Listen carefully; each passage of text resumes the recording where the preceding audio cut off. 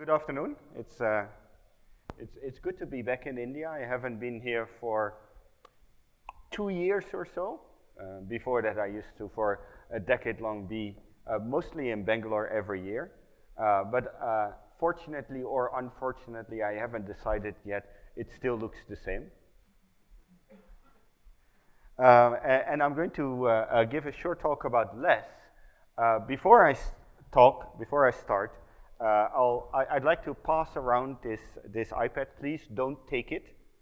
Uh, instead, you can put your email uh, if you want to, uh, and then we'll keep you informed. If I might be back in April to do uh, uh, some training here. if you are now annoyed, just pass it on and pass it to the next person.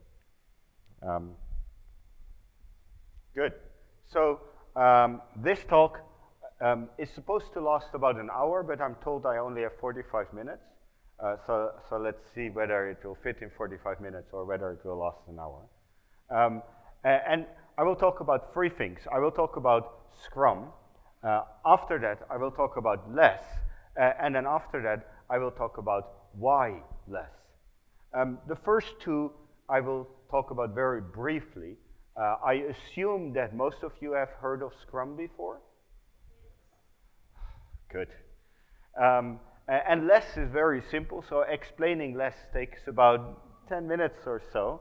Uh, and then the uh, most interesting part of this talk is about uh, how and why less was created. and I give this talk because I've, I've uh, realized that it's much more important to uh, understand the uh, over a decade uh, process for creating less than understanding less itself because it gives you more insight on, on why things are the way they are. So first, Scrum. Um, this is Scrum. This is the what I always call the, the most popular perspective of Scrum. Uh, there's actually, I'm not going to stand on that if you don't mind. Uh, um, there's, there's many different perspectives of Scrum. Uh, this is the most popular one, the uh, what, what is sometimes called the framework picture, the flow picture, or the process picture. And uh, it is also actually the least interesting one. Um, uh, but there's many, if you, if you learn to understand Scrum, there's many different perspectives on Scrum. Uh, this uh, perspective on Scrum is one that I like a lot more. I, in my opinion, this picture explains Scrum much better than this picture. Because Scrum is all about uh, teams who are uh, set free to be able to organize and manage themselves. Uh, the teams are cross-functional and they build in uh, an iterative, incremental fashion. Right? Uh, that's kind of much more essential than a sprint planning should last two to four hours. This is kind of a bit mechanical. Uh, another, sorry, another perspective of Scrum is this one. Uh, and this perspective is where most people don't like to talk about because usually if you adopt Scrum, it would mean you stop having an architecture team, you stop having a development team, and you stop having a test team, and instead you build cross-functional teams. Uh, if you're doing Scrum well, that goes associated with the appropriate organizational changes.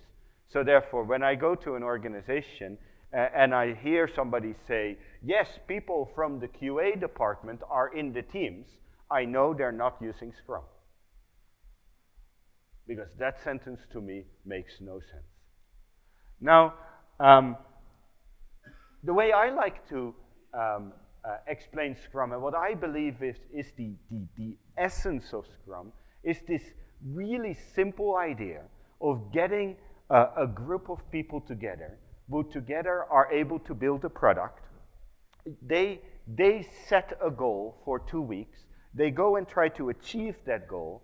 After that, they look at what they did. They look at how they did it. They think about how to improve. They set a new goal. They go and try to achieve that. They look at what they did. They, and, and that's about it. Right? That's the essence of Scrum. And unfortunately, in many organizations, that essence is kind of lost in the, the mechanics. Now, why is this important? When we talk about large-scale Scrum or scaling Scrum or scaling Agile, what we want to scale is not the mechanics, that is reasonably easy as I, will explain later, but what you want to scale is that, whoops, sorry for flashing, that essence, that closeness of working with customers, that ownership of how you work, uh, and that reflection. So with uh, less, it is trying to figure out how we can get that essence of Scrum to work with a, when we have a product with more than one team. Now, um, less large-scale Scrum. Again, it has many different perspectives, and this is the uh, like Scrum, the most popular and the least interesting perspective. It, it explains the, the, the, framework or the flow, uh, and uh, I'll be going over this in, in about no, maybe five minutes, and that's the, the, the uh, shortest introduction to less you'll uh, probably ever have. So within less, just like in Scrum, there's always one product owner. This often comes as a surprise to people who come from Scrum, but uh, if you build one product, you have one product owner. If you put it that way, it would be pretty obvious, but the um, uh, diluting of the role of product owner into a business analyst, uh, unfortunately, it's not that obvious. So one product owner for the entire product. Right now, the product I work with has about 6,000 people working on one product. They have one product owner. They have one product backlog. Then we have multiple teams working in one sprint. Just like in Scrum, a sprint starts with sprint planning one, and in uh, less we've made the separation of one and two more explicit.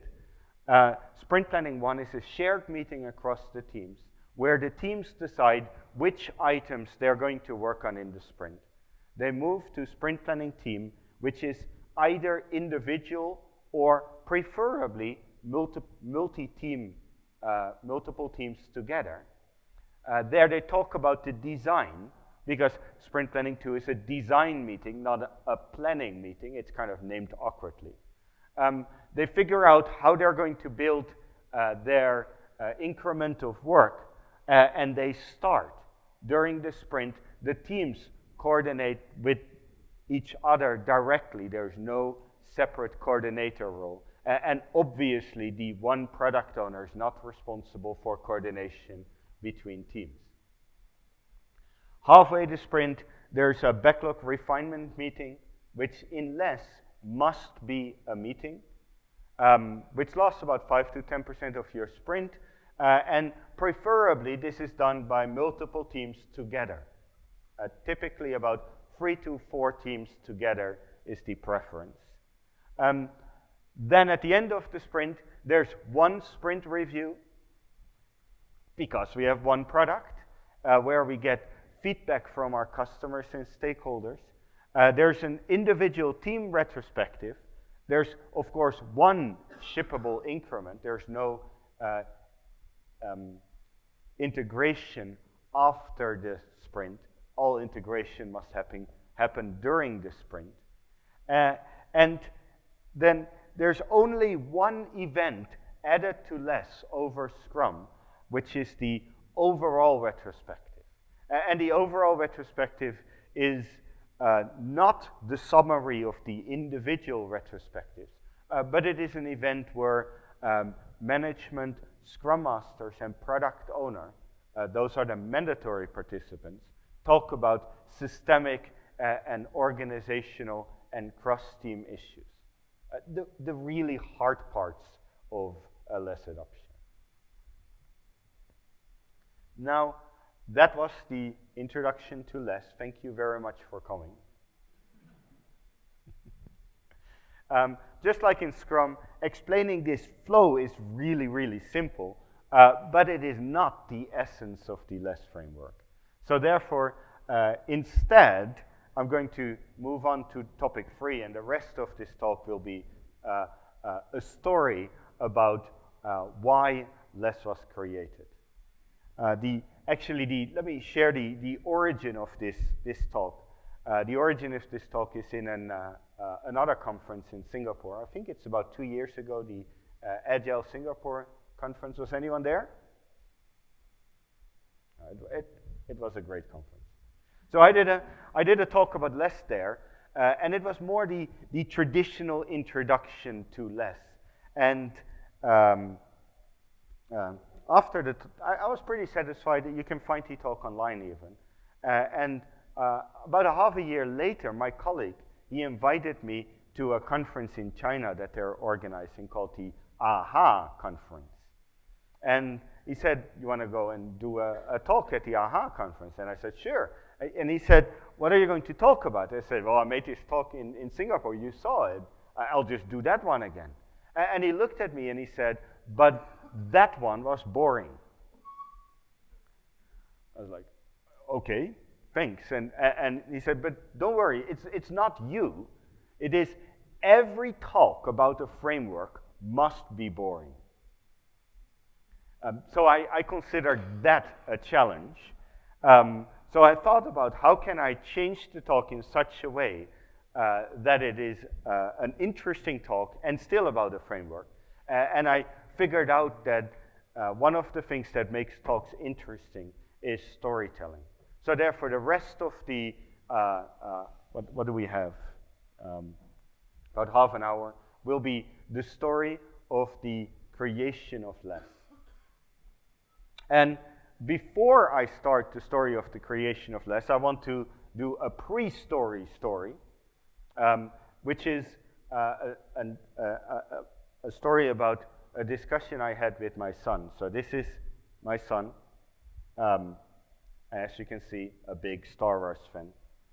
And uh, I used to have, I, I have lots of uh, long conversations with him. And I, I, I always think that there's so much that we uh, grown-ups can learn from children. I've been wondering whether we not learn much more from children than children from us. Um, and, and, one day we were having uh, a discussion while driving back from his swimming lesson. And uh, we were stuck in traffic in Singapore. Uh, I know that's rare compared to Bangalore. Um, but it does happen every now and then.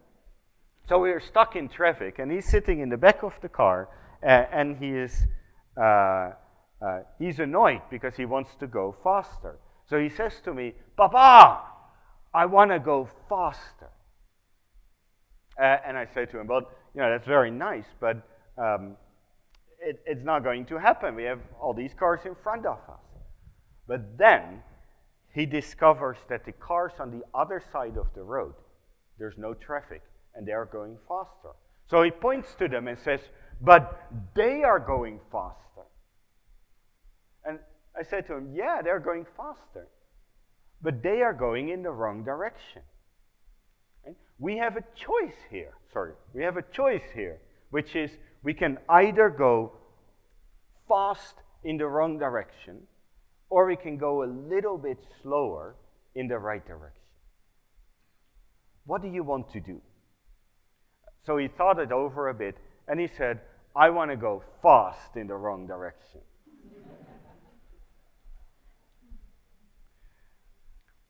now, at that time, I just thought it was funny but the next day, I was thinking over this, this conversation a little bit and, and suddenly realized that it, it kind of summarized our industry best. Because in our industry, we have so much companies and people who are obsessed with going faster uh, without asking whether they're going in the right direction or not. And, and uh, less is not created for going faster. Uh, maybe you will go faster. I'm not saying you will go slower, but it's much, much more important to go in the right direction. And that is the key focus uh, on less. Wanting to go in the right direction, maybe a little bit slower. Now, the uh, story of less starts about uh, now over a decade ago. So, over a decade ago, I was working with Nokia. I actually still work with them. Um, and I was at that time living in, uh, in China. Uh, and I have a background in extreme programming in the uh, pre-agile time. And, uh, but when I joined uh, Nokia, and the Nokia uh, uh, company, not the one that makes phones, but the one that makes network equipment. So not Microsoft, but Nokia. Um, so I was living in China, and uh, I had switched to try to do waterfall development there, because at that point in time, everyone knew agile development doesn't work for large products. It only works for small projects. So I'd been uh, together with some uh, friends of mine trying to do waterfall development really, really well um, with a product of about four or 500 people, uh, only to discover that it doesn't work either. So therefore, Nokia at that time, which is about 2005, wanted to try out agile development.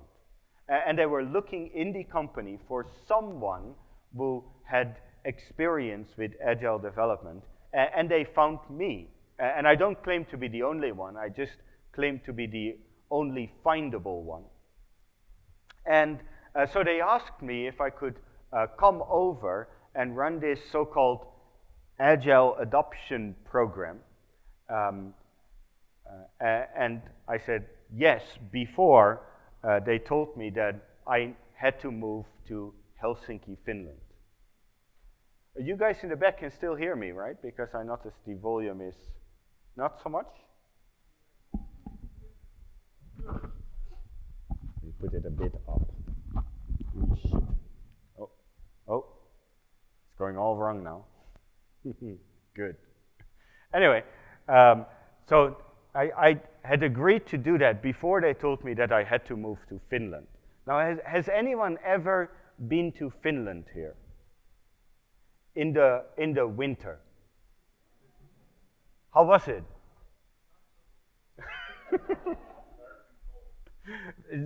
so in Finland, it's very, very cold.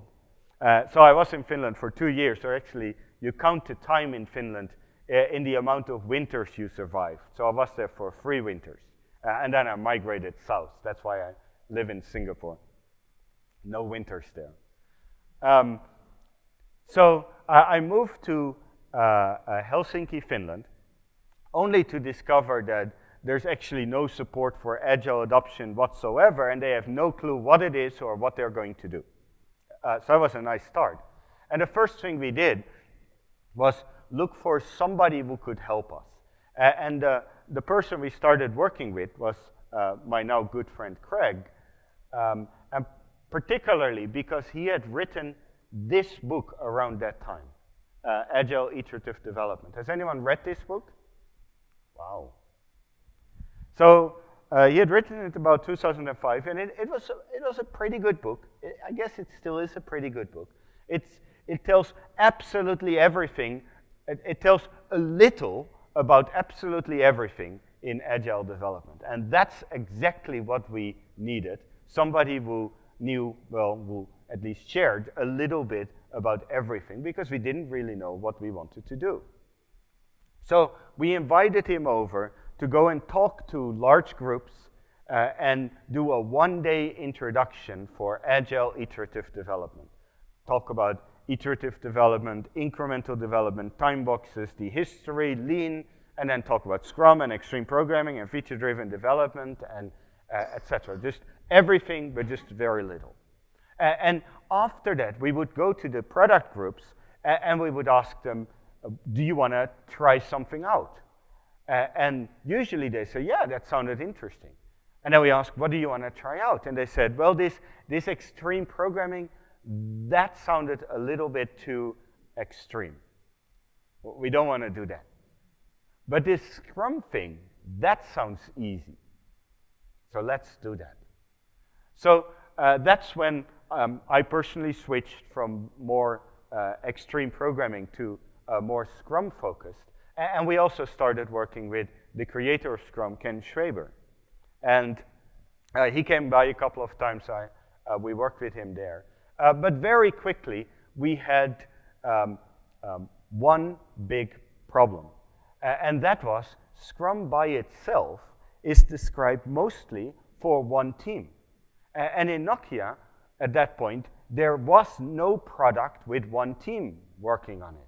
The, the smallest product had about three teams working on it, and the large products, nobody knows how much teams work on it. Uh, we literally have no idea, uh, just a lot. Um, so the first question that we, and that's kind of, I want to uh, focus on this question a little bit because uh, this is kind of the founding question of less, if you wish. How can we use Scrum not with one team, but with multiple teams? How can we do Scrum not with one team, but with more than one team? Now, let's see. We had another problem. The second problem was that uh, Craig did a little bit too good of a job because there was not one product that wanted to start trying out uh, Scrum, but there were about 10 or 20. Uh, and there were exactly one and a half coach because uh, I was the only full-time coach and Craig worked there part-time while at the same time touring the world visiting uh, other places. Um, so therefore, um, and, and, you know, we had no idea on how to do this or how to solve this either. But because we had so much products, one of the things that we started doing is we started doing lots of experiments where we would go to a product and we would talk over uh, um, their current situation. Uh, we would work on the code a little bit, uh, and then we would suggest experiments, uh, and they would uh, try it out. And then in another product, we would suggest other experiment, experiments, etc., etc., etc. So in this period of time, we were able to try out lots of different things at the same time. And that was wonderful. And we learned lots of things that, that work and, and don't work. Like one of our earliest experiment, experiments was to use uh, one, have one product owner, one product backlog for, uh, for all of the teams. Uh, and again, that's still part of less. But to also then share one sprint backlog for all of the teams. That doesn't work. Um, don't try it out. And uh, uh, in retrospect, it's pretty obvious why it doesn't work. Um, but at that time, we had no idea. We were just trying out these things. And um, we, we tried out these things based on you know, our own thinking and, and background in, in things like lean. Uh, but we were also, at that time, reading about every possible thing ever written about large software products. And then not you know, the, the uh, what Craig likes to say, the armchair methodologists, where uh, somebody writes a book saying, I think it should work like that, uh, because those are not interesting, but instead, the summaries of interesting large products. Right? So, and two of the most influential ones for less probably have been these two, debugging the development process uh, and dynamics of software development. Has anyone ever read these? That's too bad. So uh, debugging the development process is basically the summary of how they worked in the Microsoft Excel version 1. Uh, and Microsoft Excel version 1 was one of the most successful uh, products ever because they completely took over the market in a very short time from anyone old enough?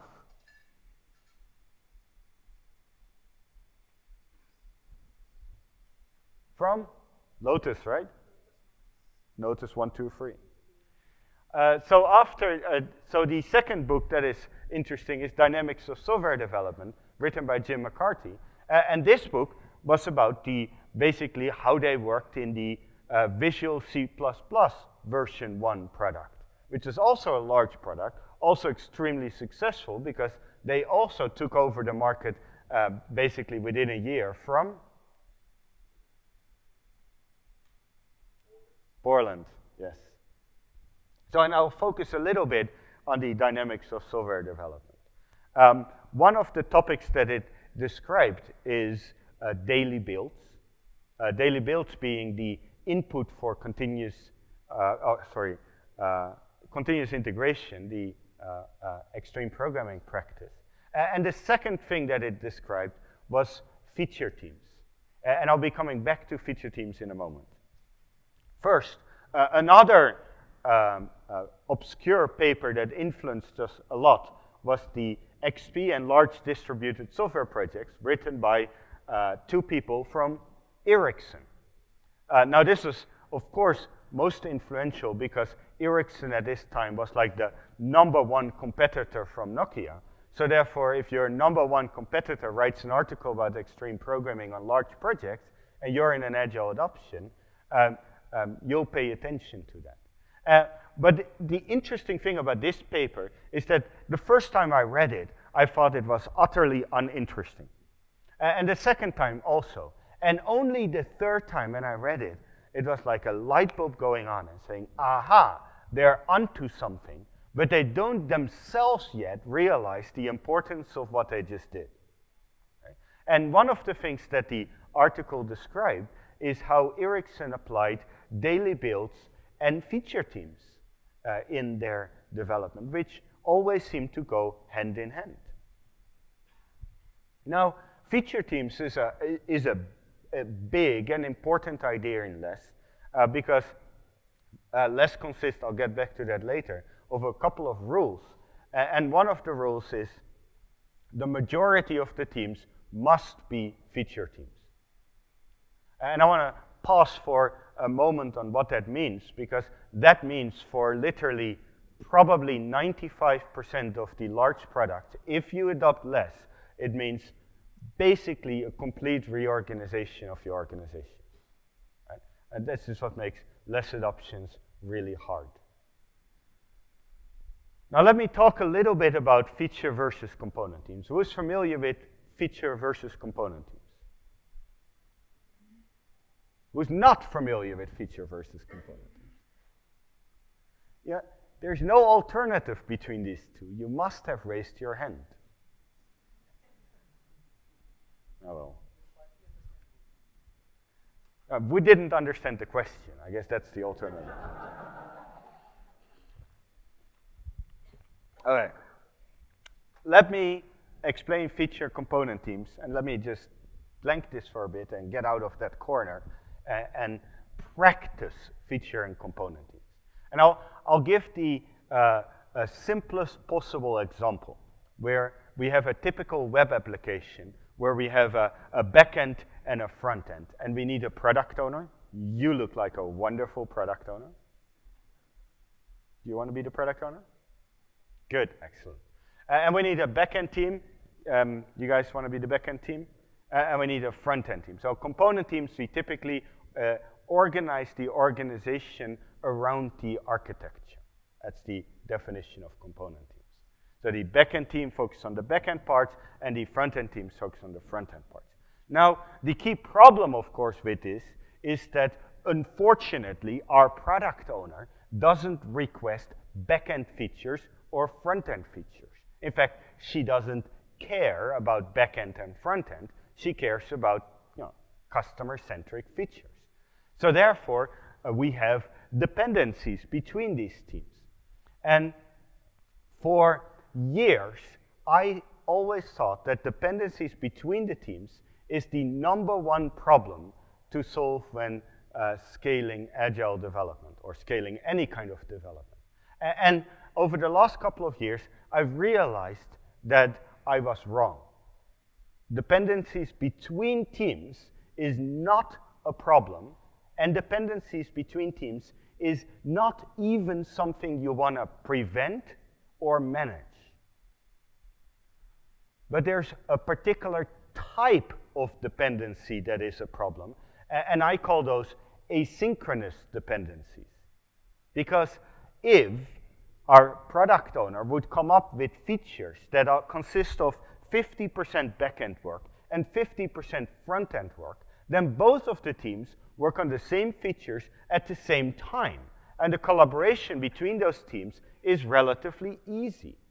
But our product owner isn't so nice, and instead, she requests first lots of features with 80% backend and 20% front end, and then at the bottom, lots of features with 80% front end uh, and 20% backend. Did I now mix them up or not? Sorry about that. The uh, interim stop in Chennai last night in the middle of night didn't do good to my uh, talk. anyway, um, so what happens now is that this team will work on the most important feature. Uh, this team. This team will work on the most important feature, which has most amount of backend work. But this team, from the front-end perspective, the most amount of the most important feature is of a much lower priority. Um, but for their perspective, it's the highest priority, so they will work on that. But they can't integrate their work with the other team because the other team is working on something else right now. So then what happens is that this team finishes their work, and if they're done with their work, they integrate it, leave it half done into the code base, and then a couple of sprints later, this team starts uh, uh, working on their part of the feature, and they then integrate it in the code base, and of course that never works.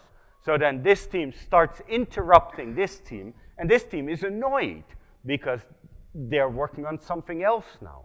Maybe if they have an uh, over-enthusiastic Scrum Master, they would kick this team away, say, interruptions, go away. Uh, just to be clear, that would be a very bad Scrum Master. Right? So um, what happens is these conflicts between these teams over time. And now we're only talking about two teams. With three teams, it becomes worse. With 10 teams, it becomes even worse. And with 100 teams, it becomes even worse. And having these asynchronous problems is a, a, a real problem of working with multiple teams on the same product.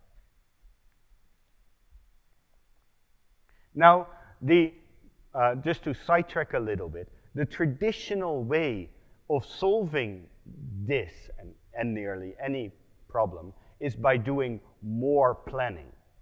Right? Get all of the people in a room, uh, do three-day release planning, map out all of the dependencies, and that is an incredibly stupid idea. Uh, that doesn't work. It's just putting band-aids on a broken system. Uh, instead, if you want to resolve this problem, you need to change the system in which you're working. Um, and that's what uh, feature teams do. And feature teams are really, really easy. I'll, I'll just make some feature teams for you. Um, you're a front-end developer, right? And two back-end developers. Can you guys get up? Go there, please. Can you get up? Go there, please. Done. It was that easy, right? We just, uh, now we have two teams, but both teams have front end and back end. Uh, and therefore, one of the things we can now do is we can take a customer centric feature and simply give it to one team. And then, my favorite definition of feature team, almost favorite, is uh, whatever this team will need to do to get the feature to work in the system, is the responsibility of this team. We take another feature, we give it to this team, whatever the team needs to do in order to get the feature to work, etc., etc., etc. So no more dependencies between the teams. Problem solved. Sorry? So, but uh, of course, there are still dependencies between the teams. But there are different dependencies between the teams because now all of the teams potentially work on the same code. and they need to uh, integrate at the same time, etc., etc., etc. Now, traditionally, that problem is much worse. But if you look at you know, modern extreme programming development practices, they, uh, like especially unit test, test-driven development, continuous integration, they're built for solving this problem. Right? This is the reason why daily builds and feature teams in, in the history of product development always happen to go together because they actually um, support each other. So um, the other thing about the dependencies that we have between these teams now is that these dependencies are what we like to call synchronous dependencies, which is if this team needs to touch the front-end component and this team needs to touch the front-end component, then they do that at the same time. If this team does it one sprint and this team do, does it another sprint, there's no dependency. Right? And because the teams change the same code at the same time, therefore, both of the teams actually benefit from working together rather than creating that conflict. Right? And those kind of dependencies are actually good dependencies too, because it's an opportunity for multiple teams to work together uh, and use each other's work. So um, we started out with component feature teams, uh, first with free teams. Hey, these are permanent teams. We're self-organizing.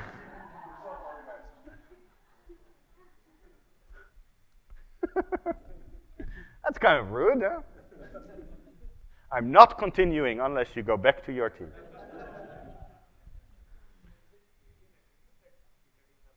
Yes, so fit, teams in uh, less are uh, long-lived, which means that uh, there's no planned breaking up of the team. Uh, a feature team is not a feature project. It's a team you give features. So after they're done with one feature, um, you give them another feature, etc., etc., course, if the team themselves decide to mix up like, like that happened here, uh, that's perfectly okay.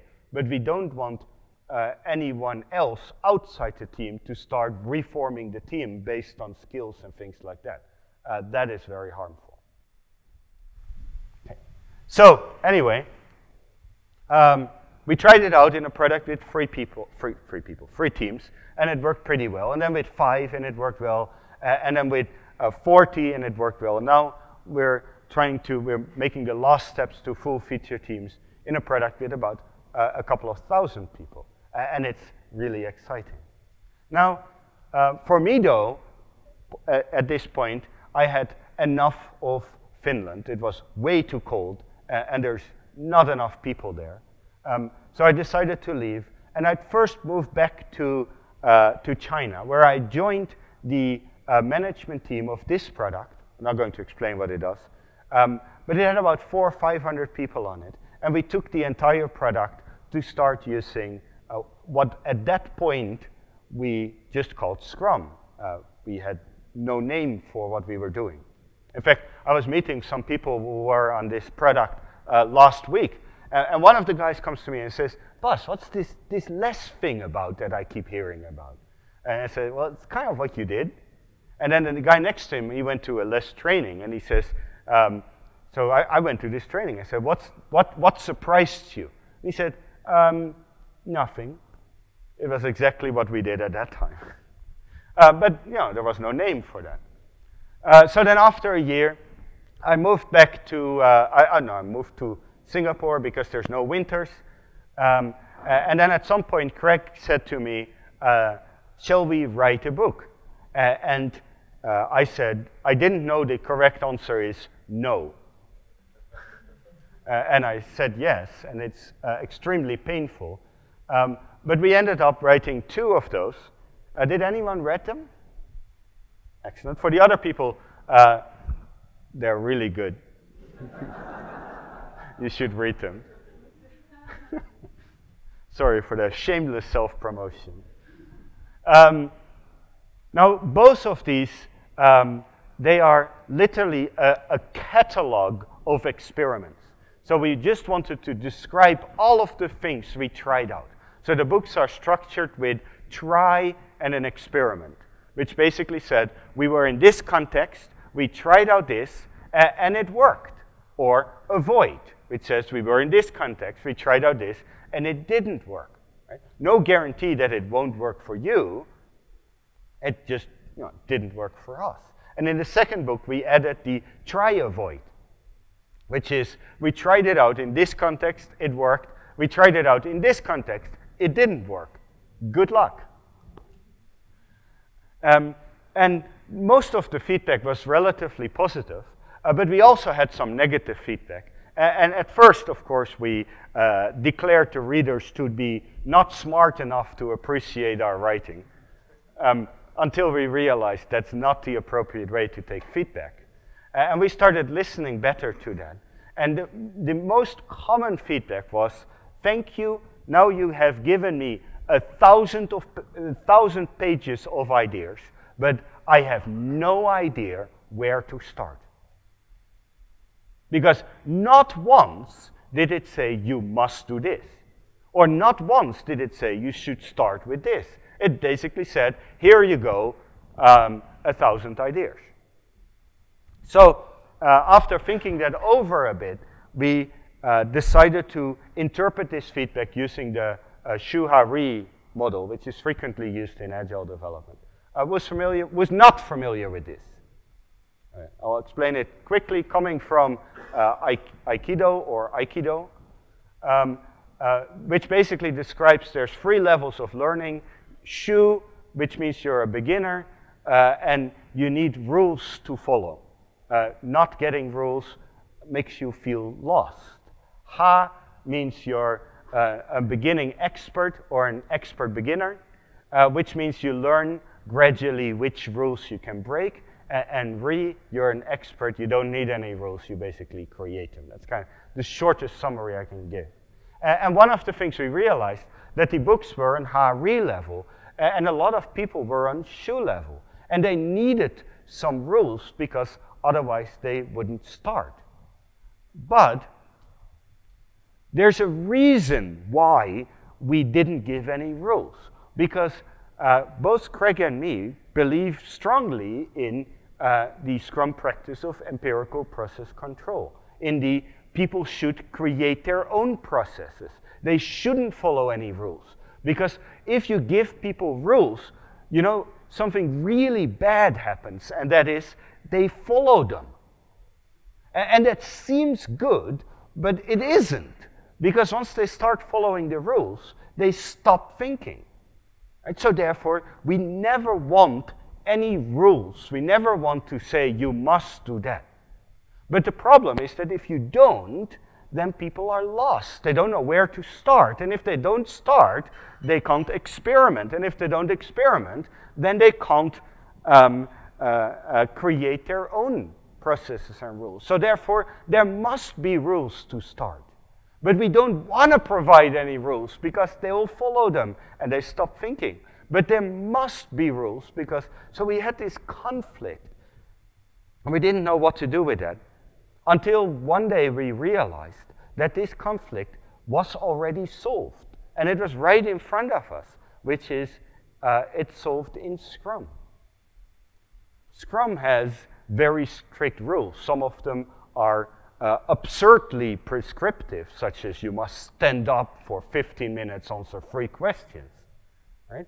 Uh, yet, Scrum also promotes teams to take ownership and, and is completely open on how the team actually works as a team. Right? So if you think about Scrum, is it creates prescription on the points where it creates transparency. Right? It creates prescription on the points where the team gets more transparency so that it can take more ownership of how they work. And that's what we need. So that's what we need in less too. So we decided to try to, uh, we, we decided to create, stupid, sorry. We decided to create some rules. This is a, a, a snapshot of the rules.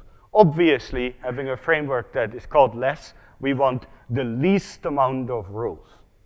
Um, because we don't want to give any rules. Uh, and all of the rules need to focus on you know, the, the really essential things where they uh, create transparency. Uh, you can find these on the uh, less site also.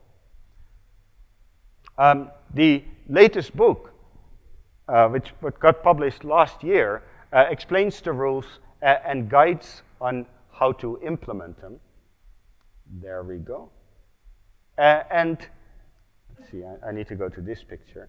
and we decided to, um, and this gets back to the initial talk about the perspectives of Scrum. Whereas there's many different perspectives on Scrum, uh, and there's also many different perspectives on less. And I showed you the, the flow, the uninteresting process kind of processy perspective. That one is not so interesting. This is uh, what we like to describe uh, what we like to uh, um, describe as, we always call this picture the, the less complete picture, uh, which describes less best. So less is, in essence, experimentation. Right? Of course, I will never say that you should break the rules. You should always follow the rules. But if you always follow the rules, you, you're not using less. Then there is the rules, the frameworks. There's two variants of, an, of them, and there's about three pages of those. Um, from the rules, we extracted the 10 principles, which are these ones. Uh, the only thing different than, than usually with principles is that the principles are uh, retrospective. So they weren't uh, created based on what principles are a good idea, but they are uh, what principles have we used in the successful experiments over the last 10 years. Uh, and I'll still explain one of these principles as the last thing uh, of this talk. Um, and then the uh, guides are uh, descriptions on the effects of the rules in organizations, right? Rule says, for example, um, the majority of the teams is feature teams, the guides say what feature teams are and how you actually do that in an organization, because that is really hard. So the different, we have these different perspectives on less also.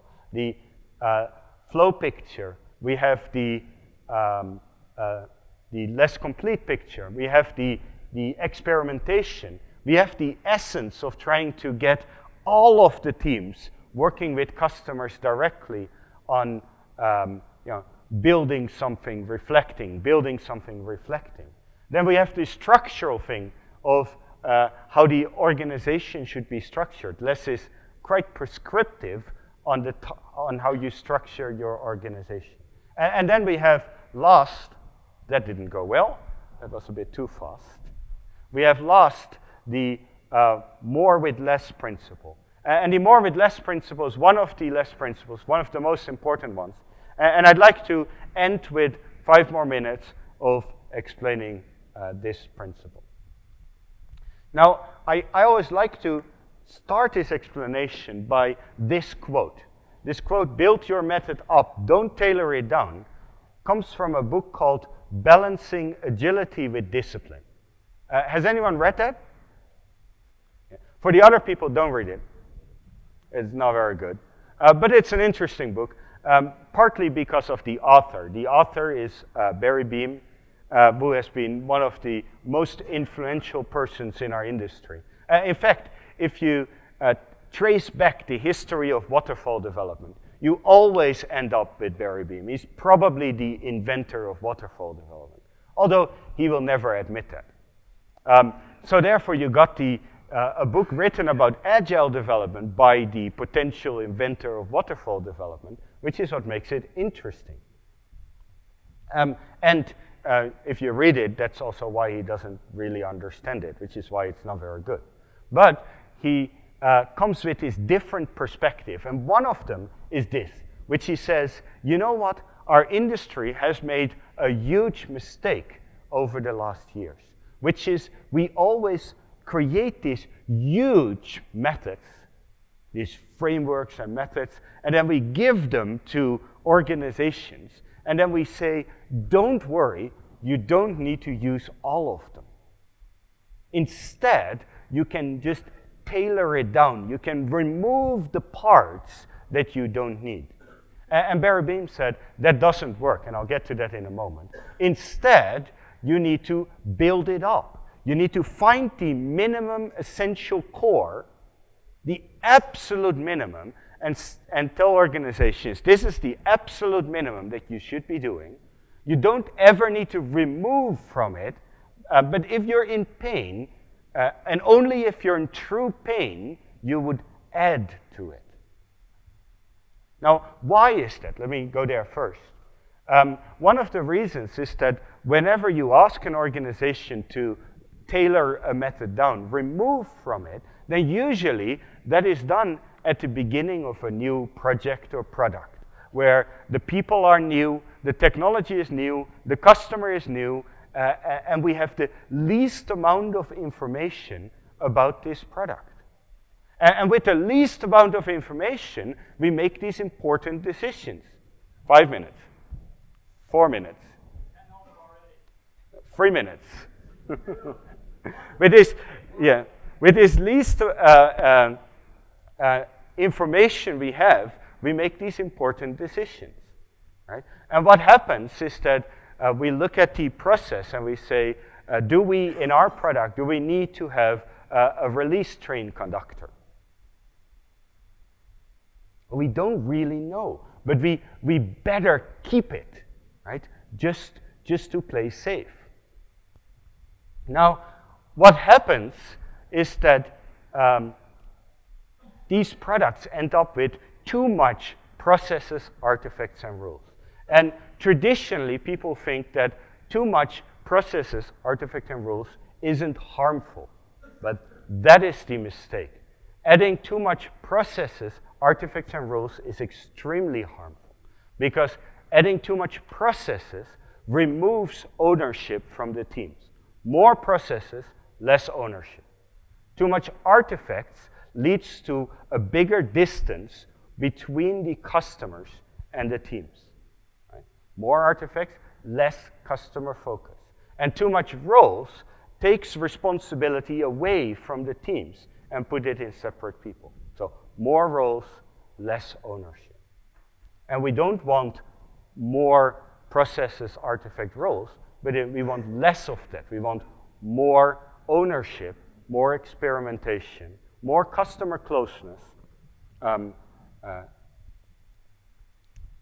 and what was the last one? I forgot the last one. I had them, right? Um, we want more with less. I'll, I'll, just end it here because uh, the other people are getting angry with me.